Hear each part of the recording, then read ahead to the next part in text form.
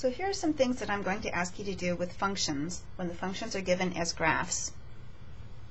And unfortunately, this is going to be pretty small on your screen, but try to follow along. First thing I'll ask for is what is the domain of this function? Domain is a set of x values.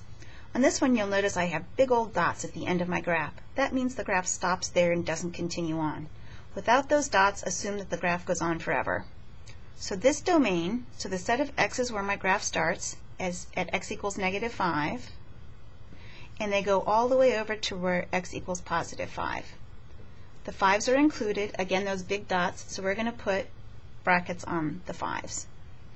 The range is a set of y values. For what y values does my graph exist? So it never comes down below the x-axis, so all my y's are positive. So it looks like 0 is my lowest, and for argument's sake, we'll assume we touch there, so 0 is included and they go all the way up to, over here it goes to the 2, but here it goes all the way up to where y is 3. So 3 is the end of my range. X-intercept, where does your graph cross or touch the x-axis? That happens right in here at the point 2, 0.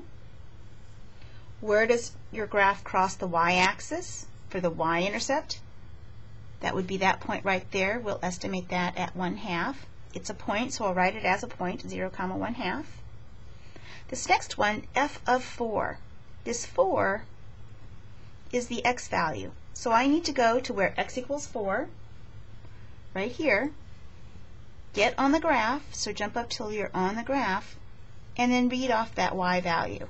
So if x is 4, my function value, my y value is 1. Versus that last question, Find all values of x for which f of x equals 2. This 2 is a y value. So now on my graph, I need to go to where y equals 2, get on the graph, so I can get on over here and read off that x value, which is an x value of 5. But I can also, remember y equals 2, I can also get on my graph over here where does that end up? Right there, which corresponds to an x value of negative 3. There are two x values for which f of x equals negative 2. So just for argument's sake, so that you know what that would look like, f of 5 equals 2 and f of negative 3 equals 2.